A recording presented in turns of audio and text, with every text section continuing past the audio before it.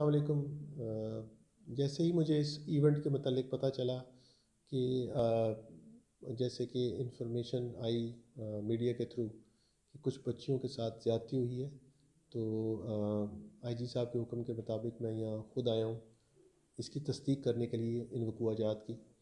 तो उन वकूजात को मैंने मुतयों से भी मेरी मुलाकात हुई है डी पी साहब भी मेरे साथ बैठे हैं और हमने उनको सुना है उनमें जो जो उनके तसरात थे उनके जो मामला थे उन्होंने हमें हमसे शेयर किए हैं। और जो जो उनके साथ हुआ है उनकी आ, हमने मैंने डीपीओ साहब को बता दिया है कि जो वो कह रहे हैं और जिस हद तक जो जुर्म बनता है उसके मुताबिक और जो वो एप्लीकेशन देते हैं फ़ौर पर्चा दर्ज किया जाए तो अभी पर्चे दर्ज हो रहे हैं उनकी एप्लीकेशन पे और जो हकाइक आएँगे उसके मुताबिक जुर्म उसके ऊपर लगेगा। जो भी वो एप्लीकेशन देंगे।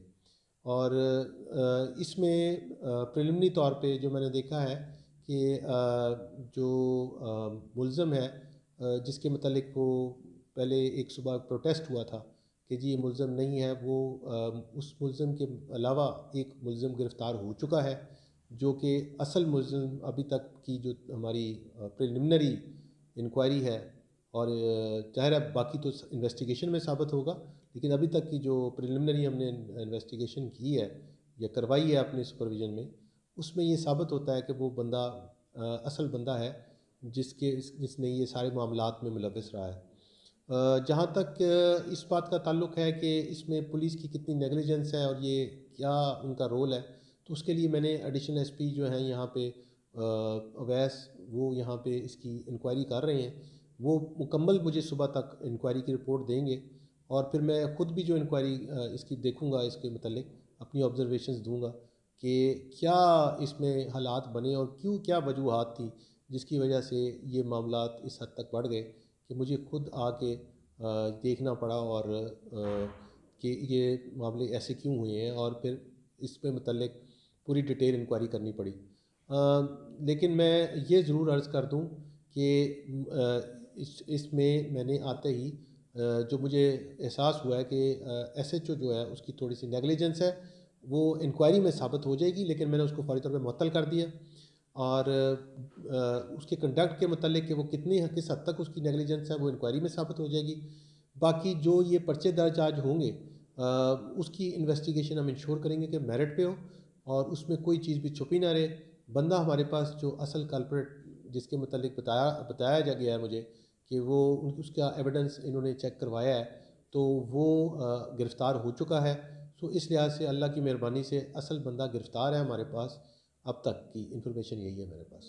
सर टोटल कितनी बच्चियाँ हैं अब तक जो है वो रिपोर्ट हुए हैं जिनके केस और कितनी बच्चियों के साथ आपकी मुलाकात हुई है उनके लवाहिन के साथ और मुकदमा कितने दर्ज किए जा रहे हैं अब तक? देखिए जैसे कि मैं बताऊँ एक पर्चा पहले दर्ज था एक पर्चा आज दर्ज हो गया हुआ था जब ये प्रोटेस्ट हुआ है। उसके हवाले से था। फिर तीन लोग और सामने आए हैं जिनके पर्चे उनकी तहरीर के मुताबिक दर्ज हो रहे हैं इस वक्त एज़ वी स्पीक नाउ हम पर्चे दर्ज कर रहे हैं और जो जो उसके मुताबिक आगे हकायक आएँगे उसके आगे हम प्रोसीड करेंगे। अल्हम्दुलिल्लाह अच्छी बात यह है मैं अगेन कह रहा हूँ कि बंदा गिरफ़्तार है। सर जो बंदा गिरफ़्तार हुआ है उसका नाम क्या है? उसका ताल्लुक किस इलाके से है? तो ये वाली चीज़ें सर सारी थोड़ी सी यासीन नाम है जी उस शख्स का। और वो गिरफ़्तार है हमारे पास। और उसके मतलब अब उसकी किस हद तक उसने क्या कुछ किया ये तो इन्वेस्टिगेशन में पता चला देखिए ये चीज़ भी इन्वेस्टिगेशन में साबित आएगी साबित होगी। अभी तो हमारा एक जो इलेक्ट्रॉनिक रिकॉर्ड होता है मुझे बी डी साहब ने बताया है कि उस रिकॉर्ड के मुताबिक तो उसका कोई एज सच रिकॉर्ड नहीं है। लेकिन ये है कि आ, हो सकता है कोई पुराना केस हो जो उस रिकॉर्ड में ना अपडेट हुआ हो तो वो हम देखेंगे। हम जैसे जैसे सामने आएँगे हम आपके साथ रबते में रहेंगे और आपको बताते रहेंगे। सर वो लोकल है या किसी और शहर का रहायशी है? नहीं वो लोकल आदमी है लोकल आदमी है जी। एक आखिरी बात मैं ज़रूर आपसे दरख्वास्त करना चाहता हूँ तमाम पब्लिक से।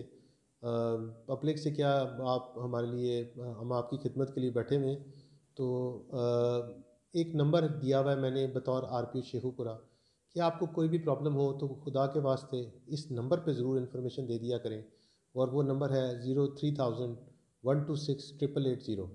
और ये वो नंबर है जिस पे आप किसी वक्त भी ऑडियो फॉर्मेट में, वीडियो फॉर्मेट में या रिटर्न फॉर्मेट में आप मैसेज कर सकते हैं और इन आपको फ़ौर रबता भी होगा आपके साथ और एक्शन भी होगा।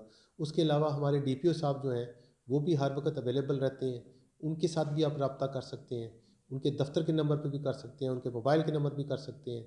और इसके अलावा वन फाइव तो है ही कि वन फाइव पर भी आप कॉल कर सकते हैं। आप लोगों को इनक्रेज किया करें तो कि अगर फ़र्ज़ करें एस एच ओ नहीं सुन रहा या कोई ऐसी बात है या कोई मसला आ रहा है तो तमाम फोरम्स को ज़रूर दरवाज़ा खटखटाएँ इतना वेट ना करें, क्योंकि वेट करने से फिर ऐसे जो मुलम होते हैं उनको बढ़ावा मिलता है और वो फिर और किस्म के इस तरह के क्राइम्स कमिट करते हैं।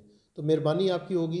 आपको मैंने नंबर भी दिया है और मैंने आपको ये भी बताया कि आप इनसे रबता भी रखा करें। ये इसमें आपका भी फ़ायदा है, हमारा भी फ़ायदा